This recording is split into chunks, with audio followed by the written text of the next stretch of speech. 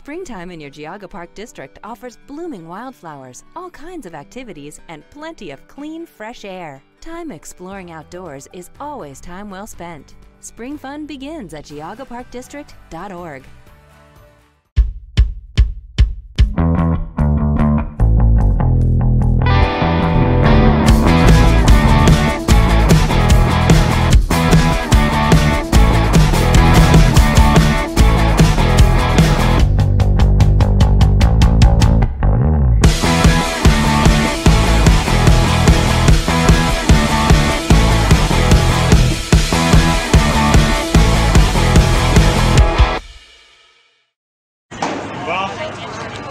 uh, the 800 that was uh, that was a tough race. Those guys from Geneva are really good.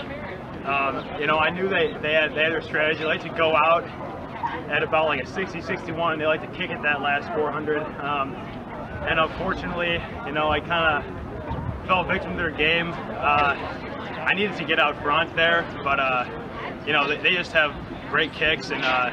Mine just wasn't mine just wasn't good enough. So I got to improve upon my strategy, get a faster first lap going to Well, the next week. for me, I can't get too worked up over a race. Uh, I got to stay cool, calm, and relaxed. And uh, I also find I can't, you know, when you're in that race, you just gotta let it all go and uh, you know, kind of take what the race gives you. Um, not think too much about everything. And uh, you know, and that last 150 or so, you got to be locked in, hold form, and uh, have a strong day. It's been coming along. It's been progressing pretty nicely for me.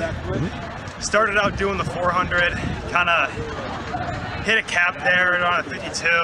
Transitioning to the 8 right now, and I'm running about. I ran a 201 today. I'm trying to get under two for uh, for districts. We moved up to D1 this year, so that's a huge challenge. Um, and you know, with that pandemic and everything that's been going on, uh, it just makes it kind of make me realize like, oh, you gotta you gotta work at it that much more. But it's different competition going in next week in districts, and. Um, yeah, just we just got advanced to regionals. Uh, go trying to do that 800 uh, or 4x8 too. I, uh, I'm going to Ohio State. Um, gonna study business there. At the engineer's office, we work together like a team.